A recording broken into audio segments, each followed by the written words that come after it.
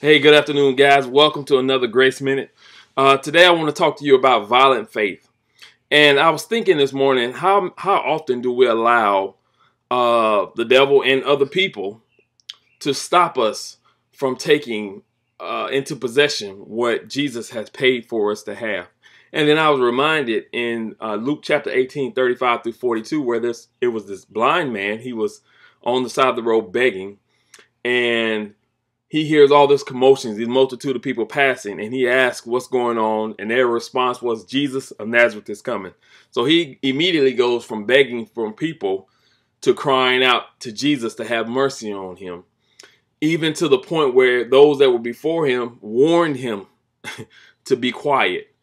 How many times is it we when we begin to confess what we believe, and those that don't believe like we believe, they try to discourage us and the enemy will try to discourage you as though it does not belong to you. But this guy cried out all the more as though what Jesus was carrying belonged to him.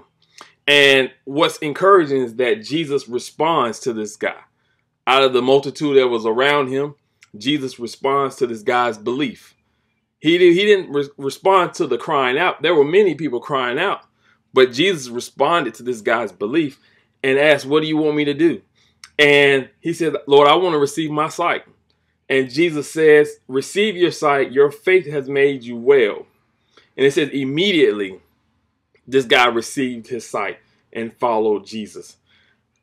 I want you to get this because when you when you have violent faith, that means I'm going to believe in spite of what people may say, those that don't understand, those that don't believe like I believe, I'm going to believe in what Jesus has already done for me as though I'm a child of God and it belongs to me. Praise God. And I want you to begin to really operate in this belief, operate in what I'm calling violent faith. Believe in spite of, take hold of what Jesus has paid for you. Praise God. I believe, I thank God for you. Uh, I pray that this has blessed you. Thank you guys for joining me for another Grace Minute. Take care.